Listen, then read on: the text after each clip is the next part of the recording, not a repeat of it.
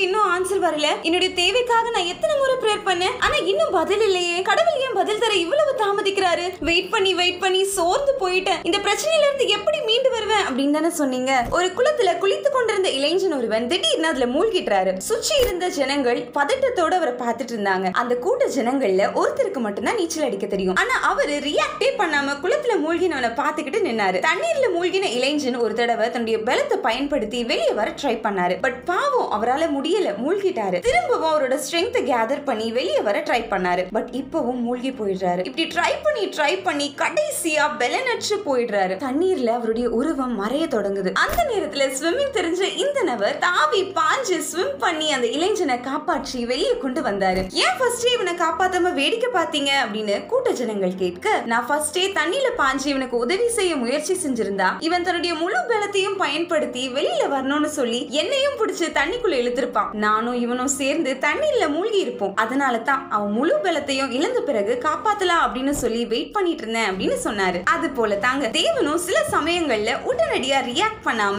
அமர்ந்திருப்பாரு. சில வேலைகள்ல நம்முடைய வாழ்க்கையில நமது தேவைகள் பிரச்சனைகள் உச்சக்கட்டத்தை அடையும் போதுதான் தேவன் தலையிடுவாரு. ஏன் தெரியுமா? நம்ம எப்பவுமே நம்முடைய சொந்த பலத்தை நம்பி இருக்கோம்ல. நம்ம சொந்த முயற்சி செய்யறோம் மனித உதவிய நாடுறோம் பல கதவுகளை தட்டியும் உதவி கிடைக்காத போது தாங்க நம்ம கடைசியா ஆண்டவர்கிட்ட வந்துட்டு நீங்க தான்ப்பா ஏதாவது செய்யணும் எனக்கு வேற வேற வழி இல்ல அப்படின்னு டோட்டலா சரண்டர் ஆகுறோம். கடவுள் அது வரைக்கும் குறுக்கிடவே மாட்டாரு. நீங்க அவர்கிட்ட சரண்டர் ஆகுற வரைக்கும் அவரு வெயிட் பண்ணிட்டு தான் இருப்பாரு. நீச்சல் தெரிஞ்ச அந்த நபரை போல தான் மூழ்கும் நம்மள பார்த்துட்டு இருப்பாரு. நீதிமொழிகள் மூன்றாம் அதிகாரம் ஐந்தாம் மற்றும் ஆறாம் வசனத்துல உன் சுய புத்தியின் மேல் சாயாமல் உன் முழு இருதயத்தோடும் கத்திரிடத்தில் நம்பிக்கையா இருந்து உன் வழிகளில் எல்லாம் அவரை நினைத்துக்கொள். அப்பொழுது அவர் உன் பாதைகளை செவ்வைப்படுத்துவார் அப்படின்னு வேதம் சொல்லுது. லூக்கா பதினோராம் அதிகாரம் பத்தாம் வசனத்துல கேட்கிற எவனும் பெற்றுக்கொள்ள சொல்லுகிறான் அப்படின்னு வசனம் சொல்லுது. சோ கவலைப்படாதீங்க. உங்க ஜெபத்திற்கு கண்டிப்பா பதில் உண்டு. But don't lean on your own understanding trust in the Lord God bless you